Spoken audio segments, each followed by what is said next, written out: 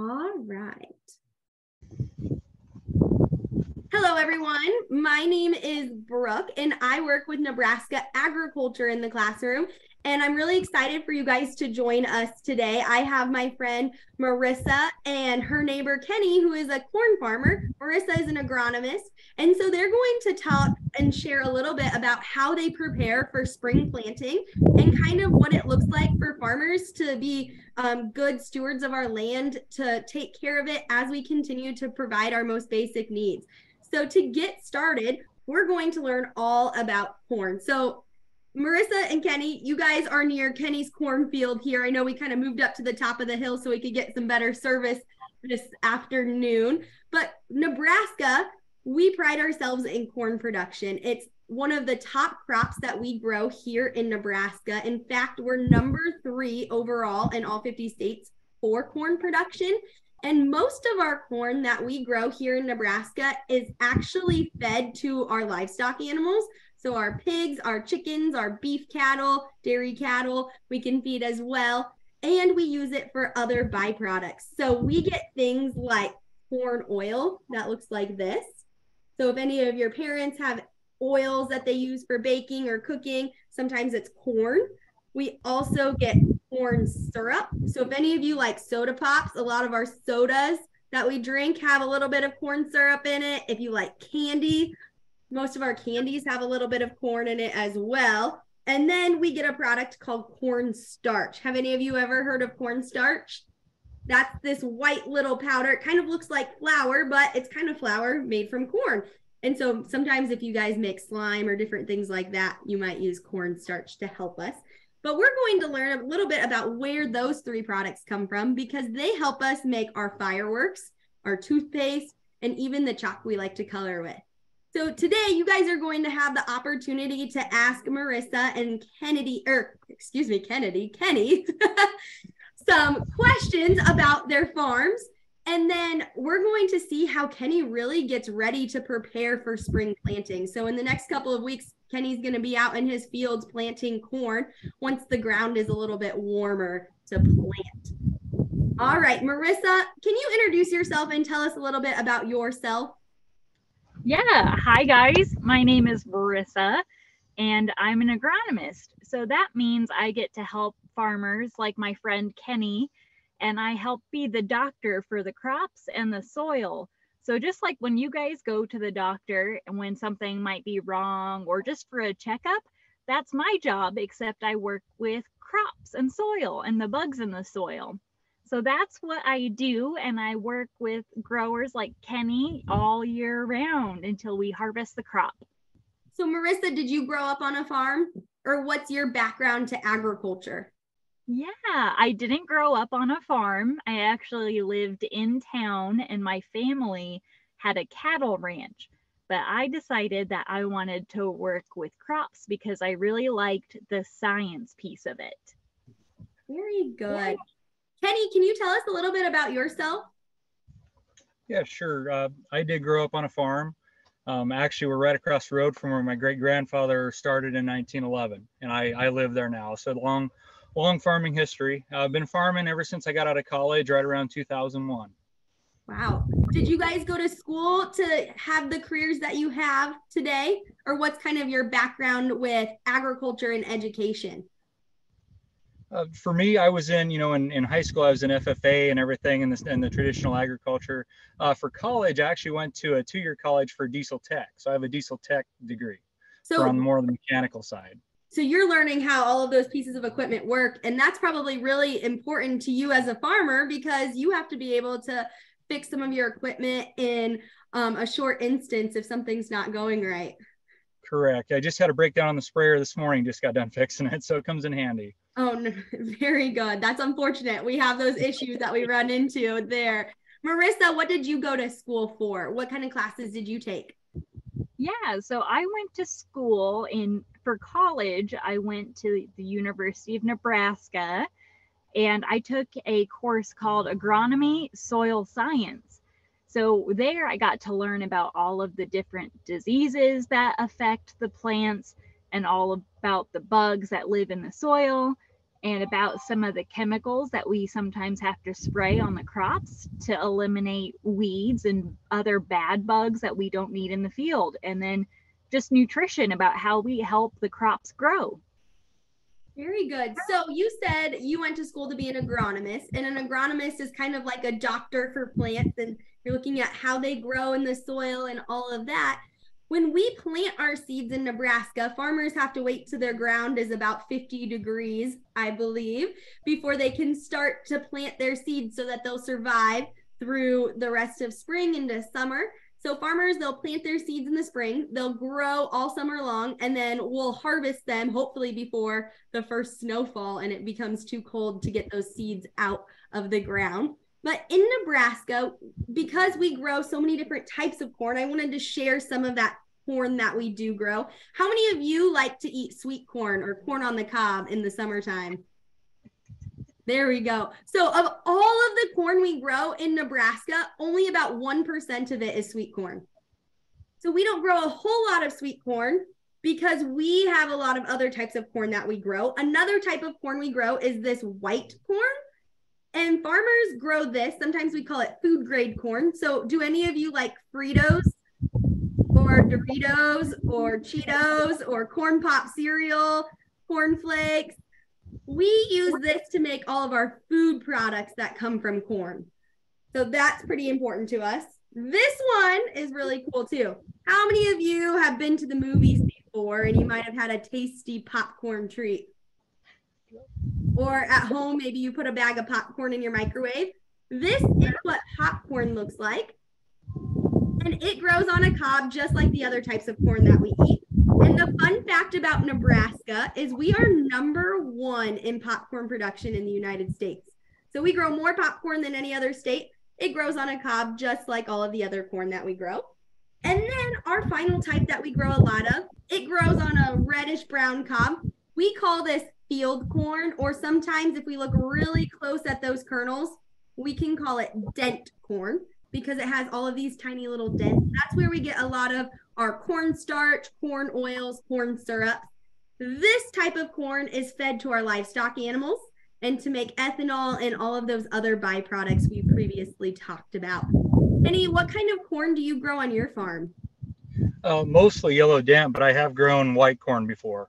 Okay. Very good. So we, are you you, you mentioned popcorn. We have a lot of popcorn production around us real close also. Yes. So you guys are kind of in the area of Brunswick, Nebraska. So can you tell us what area of the state that's located at for some of us that are joining?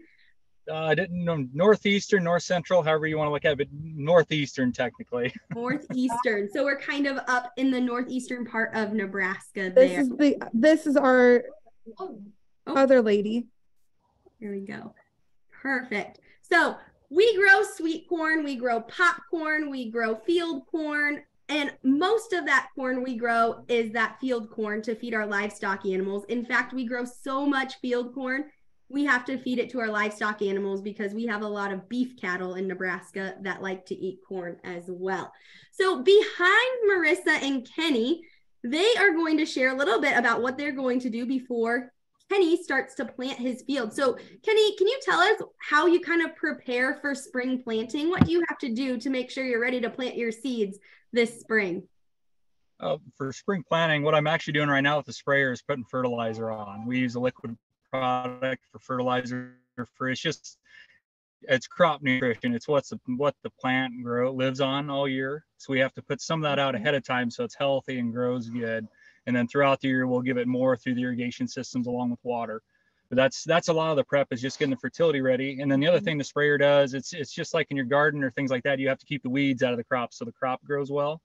And that's that's the other thing we do. We do some weed control with with sprays and things we put through the sprayer. Okay awesome. So i have a little bit of a few more questions to ask you we have the the sprayer for our tractor hooked up now. Eventually kenny will have to put on the planter which will hold all of the seeds for planting. But when you spray your field for fertilizers do you have to have like a certain um i guess ration that you mix together um, for all of the fertilizers that you use? Or how do you get that prepared to spray on your fields? And then that's that's where Marissa or a lot of the agronomists come in. There are different analysis: nitrogen, phosphorus, potassium, zinc. There's a lot of different nutrients that have to be in balance for that crop to grow right, and it's also very expensive. So we don't want to waste it. We want to keep that ratio right so we can mm-hmm. have a good crop. So do you reach out to Marissa to get recommendations on what kind of solution that you should be applying to your fields? Correct correct. A lot a lot of us a lot of farmers some of us have some of that in their head and some of us we do have to talk to experts and just even if we're trying new things that's when it definitely comes into play too so. Wonderful. Could you t- could you walk up closer to and show us a little bit? I don't know how great the service is but maybe we can see how big that sprayer is and how how much it covers. Yep. We're we're on a hill so hopefully the service is good. here but it's uh, I don't know how good you guys can you can see some of the boom. It's a 120 foot boom, so it's covering 120 foot every time it goes through the field. And each one of those little nozzles you see sticking out, that's where the liquid comes out of it. They're on 15 inch spacing, so I think there's around 96 of those nozzles on it. The tank on it holds 1200 gallon, and it just depends on the product. Right now, I'm putting 24 gallon an acre on. Sometimes you might be down to as low as 10 to 12 gallon an acre when we're going through the field. So, okay. And I do have to Go, go ahead. Oh, so you can cover multiple acres before you have to refill that tank. Yeah, like it depends on the product. A lot of times, sometimes up to 75 acres to 50 acres, just depending on how what my application is. So an acre is how a farmer measures their fields. One acre is about the size of a football field. So you mm-hmm. hear farmers oftentimes when they're talking about planting or harvesting, they're going to measure in acres of land there. So we kind of talked how we have to use math and science to calculate the correct um, kind of spray to apply to your fields. Do you have to have any special permits to apply any types of sprays or what's the difference there? I bet some of them you can you can apply without having permits, but Right. There's certain most of your fertilizers I could apply without a license, but I actually have a commercial applicator's license, so I can go do custom work for people. There's also certain chemicals, if they're somewhat dangerous to either the person applying or the environment, they're restricted use. So they, they guard who can apply them and you have to have special permits and special training to be able to do that. It's all, it all comes back to the safety. It all comes back to how much you can put on, how much you should put on and, and environmental concerns. Yes. So you guys are trying to care for the land as you're applying those things, but you also have to prevent weeds, but your plants need nutrients to grow too. So it's all kind of a mix and a balance to get the right um, portions onto those fields there. I have a question for you, Kenny. I, I'm not familiar with this, but as you spray your fields, do you use any type of technology to track where you're spraying or what you're applying? We, we have a lot of technology, especially in the especially in the sprayer. Uh, it's it's GPS guided. It's uh, it's actually RTK, which is sub inch. I can come back every year and follow the same tracks within an inch. It's real similar to when your parents are driving when they're using their their maps and their navigation. It's GPS doing that. That's about four foot accuracy. This is within an inch that it can wow. give me. And then also the boom when it's applying it has swath control. So if I spray and then I come back, it knows where I've sprayed and it shuts the nozzles off automatically for me as I'm going. And it also controls the application based on speed. It, back 25, 30 years ago, you had to do that all manually. There was some waste, there was some things you did, and now it's it's all automatic. Wow, that's amazing. Does anybody have any questions for Kenny about how he sprays his fields or any questions for Marissa as we continue? If you have a question, feel free to raise your hand, come up to the screen. I'll call in your classroom and then you can unmute yourself.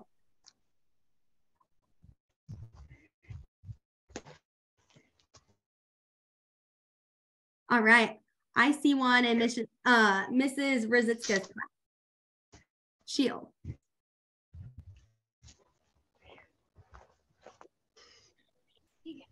Vegan, you don't want to? Avea. Um, come up to the screen so he can see you. He can't see you otherwise. That's great. Right here, that's the camera. All right. How long does it exactly probably take to like, like, har- harvest a field for corn? To harvest a field, it depends on the size of the machine, but usually we can do one of the square fields you see out in the country a lot of times takes us about a day, day and a half. Okay. Thank you. Ooh, do we have other questions? All right. I'll take another one from your classroom. Okay, Meadow. How long does it take to spray like three fields? It depends, like the different acres. But Right now on my monitor, I cover about 150 acres an hour. But that doesn't include mix time. It takes me probably just about as long to mix. mix So all. spraying goes really fast. Thank you. Thank you. All right, yeah, go ahead. I see a question right up here on the screen. Uh, how do you how do you operate the sprayer? Ooh. It's it's basically just about like think about like Hey, Marissa, would you be able to to maybe walk closer to your vehicle? You're kind of cutting out on my end. so it has a lever. One, one way goes and then you pull back, and you get to a certain spot, and it starts going in reverse. We No, You we were under the the sprayer. Sorry, we, we kind of missed what Rick? you were saying, Kenny. I might have you repeat what you were telling us. uh, just just for how it how you move the sprayer it's kind of it's almost like a lawnmower it has a lever that's a hydrostat so if you push forward it goes faster forward and then you go to neutral and come back and it's it's reversed the same way it's variable speed Okay, so you can kind of control it just right there in the tractor. All right, I see another question. Um, let's see in the sorry, some of your names on your screen in the admin. That's okay. Sorry, that's Mrs. Moeller. Thank you. Oh, go ahead. How long do you usually keep your cattle? They're talking about corn, though, hon. Oh.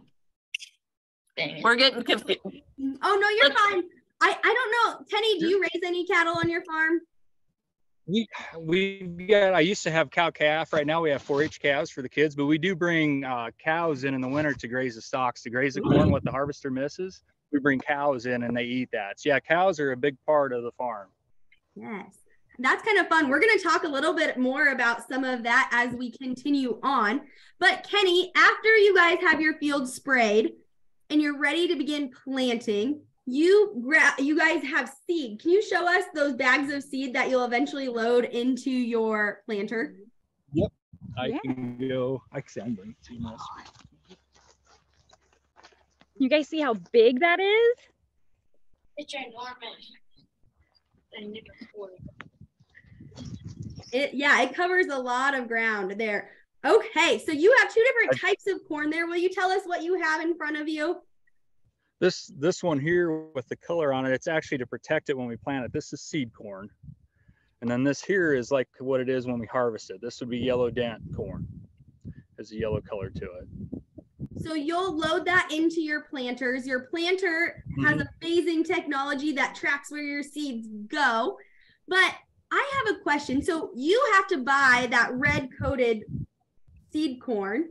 Why can't you just use the corn that you harvested the previous year?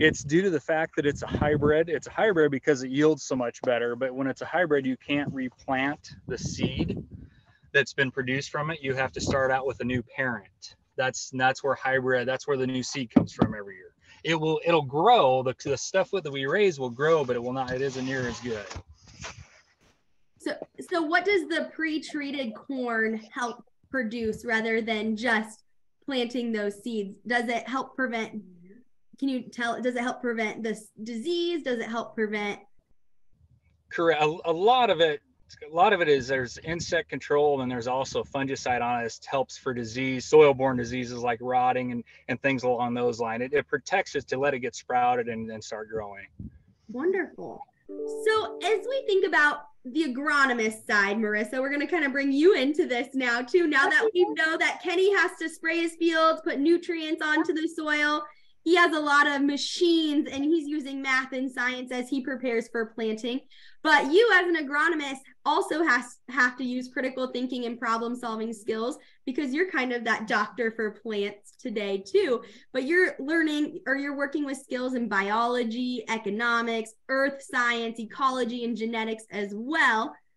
And you took a lot of those courses in college. What kind of issues are you specifically helping farmers solve on their pro- or on their farms? Yeah. So as we work with growers to feed all of you guys and the entire world, something that we have to really focus on, and that is what my job is all about, is helping farmers to grow more of the crop, more of this at the end of the day. So you guys can have more Doritos or cookies with cornstarch in it or popcorn, whatever that might be um, because sometimes we have to be very careful about some of the chemicals that we're using and we want to make sure that we use the right amount. That way we leave our environment better than we found it. Yes so when you go into farmers fields what kind of things are you looking for or what are you looking yeah. for? So i'll even show you guys right here. Can you see some of this grass that we have growing right here yeah so look right here this little guy that I just picked up, he might be really hard to see. That's actually a weed that popped through. And so that's what Kenny is going to be working on spraying on eventually too. And then we have a co-star here. We have a puppy. And then Sass. sometimes, hi Sass, there's some indicators, other visual indicators. Can you guys see what colors those leaves are?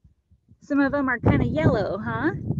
Some of that might be because we don't have enough nutrients in the crop. And that's what Kenny's putting on right now is more nutrients and more food for that grass. So those are just a couple of the things that we always look for when we're out visiting the field is to make sure that there's no weeds and that the plant is healthy. Very, very great. So you guys are looking at the weeds. So if there's a lot of weed problems, you might recommend that Kenny puts on maybe a herbicide. So that's to get rid of the weeds. A pesticide is to get rid of pests like insects that are eating Kenny's crops. Fertilizers add nutrients to the soil to help the crops grow. But after you've examined that there's an issue, what do you recommend to the farmer or how do you set up a plan for the farmer to follow? Yeah, so sometimes Kenny and I would meet during the winter when there's no crops growing, and we help put together a plan on what crops we're going to plant and the general food that we have to feed the crop. And some of these other decisions about the chemicals or the bugs, we have to address that in season because we never know what the weather's going to be like or what bugs are going to appear or even the weeds that are going to appear. Very good. So, as you're looking at that, do you use any type of technology to help you make any farming decisions? Yeah, so we use a lot of math.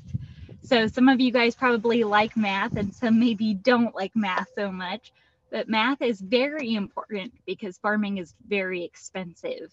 And so we have to make sure that we spend our money wisely. So we use a lot of Excel spreadsheets to help keep track of that. And then we also have apps, like you guys have apps on your cell phones or your iPads. And that's where I help keep all of my notes. And I can even drop pinpoints on maps, and that lets me know where we might have a problem in the field.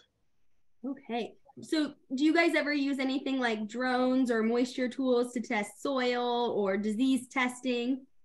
Yeah, so we we do a lot of drone testing and we can take pictures from up above so we can get a whole big picture of that entire field. And then for moisture, there are these probes that you can stick in the ground and it measures how much water is actually in the soil. And then there's labs, so scientists, where we'll actually send tissue or soil into, and they run all sorts of experiments and tests on that tissue and that soil. And it helps us identify what the disease might be or what the analysis, how much of the nutrients are in the crop. And that helps Kenny and I make our decisions. Very good. Let's take a couple more questions. Are there any other questions that you can think of that you have right now that you would like to ask Marissa or Kenny? Let's see. I think I see one in um, Sam's class. You would like to come on up, you can unmute your microphone and we'd love to answer your question. What's the dog's name? Sassy. She's a blue heeler. Very good. Yes, farm dogs are the best dogs, aren't they? One more question.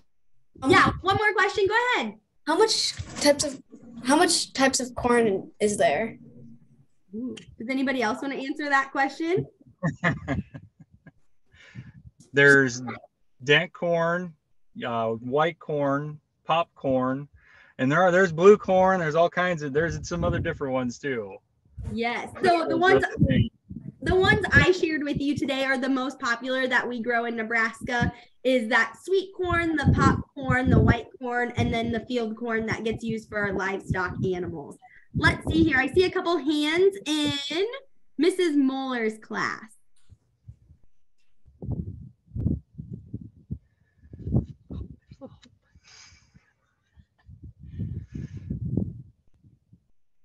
How much of your corn do you keep? Mm, good How- question. How that- much of the corn how do much- you keep? We we actually we just keep a little bit. My wife has some chickens and we have a little bit of cows. We we maybe keep 100 200 bushels, so it's a real small truckload. The rest all goes to the elevator. It'll it'll all go for food. Some of it goes for ethanol. A lot of all different end uses.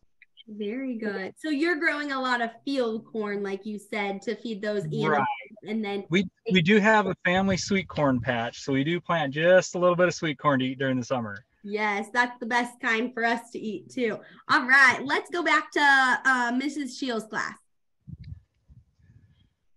Um, how much how much money do you have to spend on corn and seeds?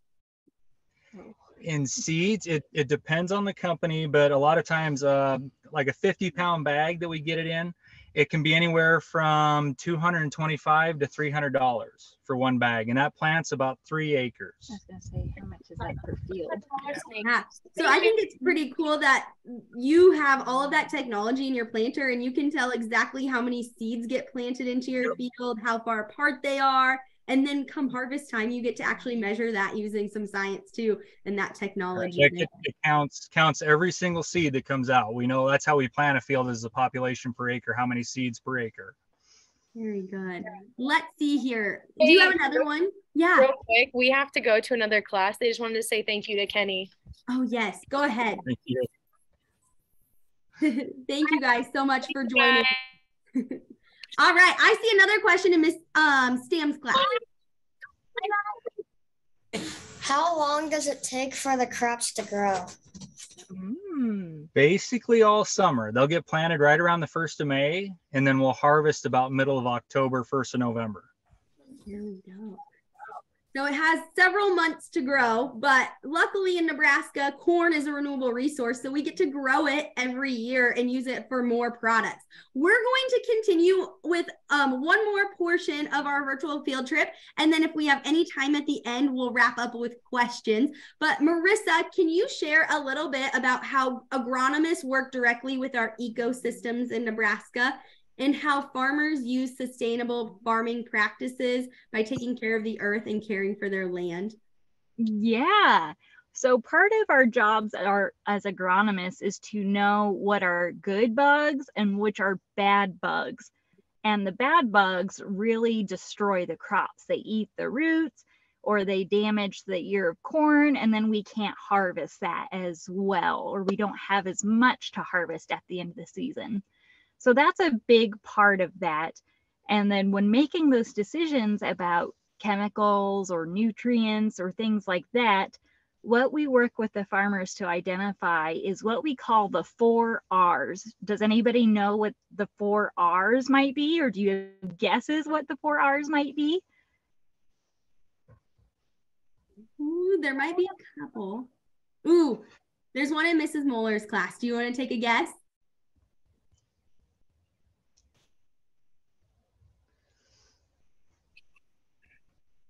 R R R R R. Marissa, will you tell us what those mean? I will. So there's four R's.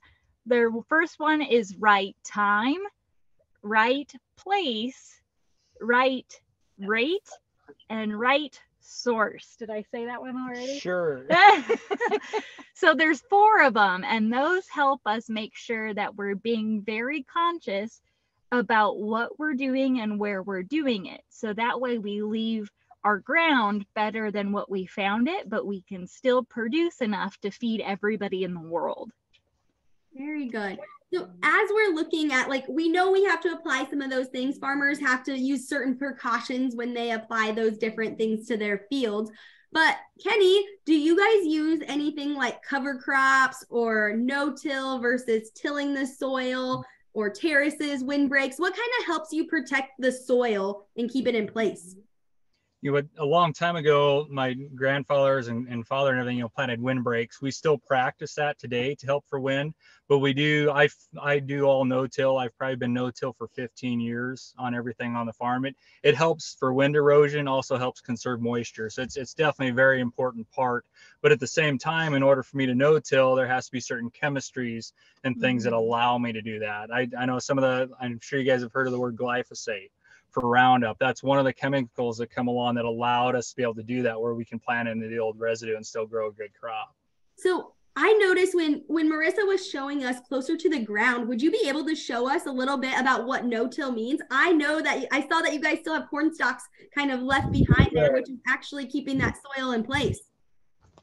And you guys, you guys can probably see it. I know it's kind of hard for me to show you here. Uh, there's corn residue from the last. This would probably been two years ago when it was corn. Last year it was soybeans. There's a little bit of the residue here. And now, right now, I actually have a growing crop of wheat. This wheat will be harvested in July. That's growing now, but that all helps protect the soil. This is a really sandy soil that's here. As you guys can see, it would blow away real easy if it wasn't protected. Very good. So farmers, a lot of farmers can practice kind of like what you have. You kind of are you using wheat as a cover crop or do you usually This- plant wheat in your fields? this one will actually be go to grain. This will be wheat for harvest. We use traditionally we use rye for a cover crop. Wheat can come into play too, but rye works a lot better because it's a lot more winter hardy and grows a lot faster. Okay. Yeah. So that's interesting. So you're growing wheat in your fields, but you've also grown corn and soybeans. And so that Mhm. kind of brings me back to crop rotation. Marissa, you probably give recommendations to farmers for crop rotation too. What's the benefit of switching our crops that we're growing so we're not just growing corn in the field every single year? Yeah, so each crop has different nutrient needs, right? So, like when we're s- playing sports, sometimes we have to eat a lot more because you're expending all of that energy. It's the same thing with our crops. And also, some crops like corn or soybeans or wheat or alfalfa, those all attract different bugs. And sometimes, as a way to mitigate not using as much chemicals, we rotate the crops. So just like Farmer Kenny showed us, there's soybean stalks in here, there's corn stalks in here, all of these different crops. So that way we break up the life cycle of all of these organisms and bugs that come here. That way we don't have to use quite as many chemicals. Very good. So you guys are really taking care of the soil. You're trying to prevent erosion, but you have to have the right amount of nutrients. You have to have those good bugs to help the plants grow by also looking at like windbreaks and terraces and no-till operations to protect that soil. But we also have to look at our water conservation. So what are some ways that you as a farmer and Marissa as an agronomist help farmers conserve water? Oh, Myself as a farmer, you mentioned the soil moisture uh, measurements. This field here actually has a soil probe on it. So we are watching the, the soil moisture content and everything. It measures every two inches on how much water's in the soil. So I don't over apply with irrigation or everything like that. The other thing is the no-till, leaving residue on the ground helps protect it and stops evaporation. That's, that's the main thing that we do. Good. Marissa, do you want to add anything to that? No, Farmer Kenny's got all of that covered. It's just all about keeping all of the rain in the soil because if we lose the rain, we have to put water on And if you guys have ever had to move the sprinkler in your yard, think about that times about a thousand for making sure that the crop has enough water throughout the entire summer. So we track water very closely. And last summer, and I'm sure this summer currently, we're still kind of in a drought. And so we have to kind of monitor the amount of water. We hope that it rains so we don't have to use water irrigations, but farmers have different ways to control the amount of water getting applied to their fields. Whether if you've ever driven by a farmer's field and you see those big sprinklers out in the center, those are called center pivots um, or irrigation pivots. They have drip irrigation or pipe irrigation, which can help flood the rows. So different farmers have different ways to water their crops when it doesn't rain. And a fun fact one corn plant needs about four and a half cups of water a growing season. So if we think about that, that's not very much water that that plant needs to survive all season long when they're growing from the end of April to when we harvest it in the fall there. So we're going to kind of wrap up here um, today, but we know farmers have to be good stewards of the land. They have to care for their land, but they also have to use that land in order to provide us our most basic needs, whether it's food, clothing, all of the things in the world around us comes from the farm or from a natural resource. And we have to use some of those natural resources to help grow those food products. So I just wanted to say thank you to Marissa and Farmer Kenny for taking time out of your guys' busy schedule to join us. Would you guys mind if we took two minutes and wrapped up with any last questions? Is that okay? Is there any questions that you guys would like to ask? Was there anybody from Mrs. Williamson's class? I know we haven't um, answered any questions from you guys. So if you guys have questions too, please come up um, to the screen. We'd love to answer those. Otherwise, let's take another question. We'll start in Sam's class. Um, around how much does it cost for all the equipment? it's it depends how new it is it can get really expensive this this sprayer here is actually over 10 years old uh, and it's uh, you know 150,000 for something that old if it was a brand new one it would be closer to $400,000 for something like that so your degree is probably really important because then you're able to fix some of that those parts if something goes wrong and your job is to make sure it's working properly so that you can continue to use it there. Awesome. Let's see. Let's take another one um, in Mrs. Muller's class.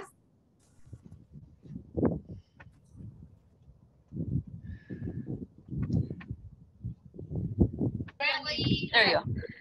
What um color of tractor do you most prefer, green or red? I don't, I don't know if I'd say prefer, but I have all pretty well all green, have all John Deere. That's because the equipment dealer that's nearby that services is the best one. So that's the one I use. All right, let's take another question from Stam's class.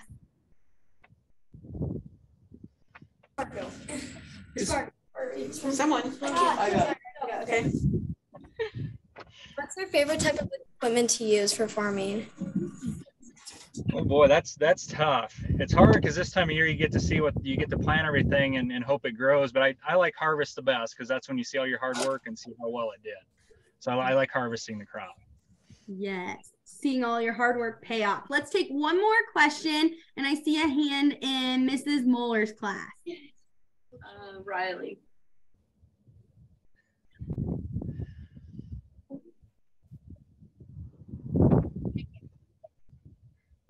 How many acres of land do you own?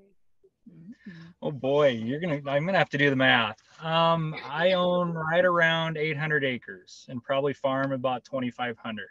The rest is rented from other people that own the ground. So, so you get to to kind of pick and choose what you're going to plant each year too. So it sounds like you grow a little bit of wheat and corn and soybeans. Those are all top crops that farmers here in Nebraska grow. And so, as we wrap up today, I just want to say thank you so much, Marissa and Kenny, for taking time out of your guys' busy schedules. I know you guys since you were broke down this morning, you're ready to get back out there and um, get spraying. So we'll let you get back to that. But agriculture is the number one industry in Nebraska, and it's one of the top economic drivers in our state. And so um, as we talk about corn in Nebraska, it's a huge part of our state and our economy. And we grow field corn, seed corn, food grade corn, popcorn, and even a little bit of sweet corn. Nebraska exports corn domestically to other states and foreign countries to be used in our byproducts and things that we use every day. And farmers here in Nebraska, they take pride in their farms, producing corn for their families, livestock, and people all over the world. And farmers, they strive to be good stewards of the land, and they do that by protecting the soil, water, and our ecosystems around us. And agronomists, they provide support and help farmers use critical thinking and problem solving skills to help produce the best crops that are safe and healthy for all of us to consume. So, thank you guys so much for sharing a little bit about how corn and all of our environment and ecosystems play together in order to provide our most basic needs. So, thank you guys so much for joining us. And thank you to all of the classrooms that joined us today as well. You guys have a great rest of your afternoon. Thanks. Thank you. Thank you. I love the dog. Oh, thanks, guys. Thanks. Yes.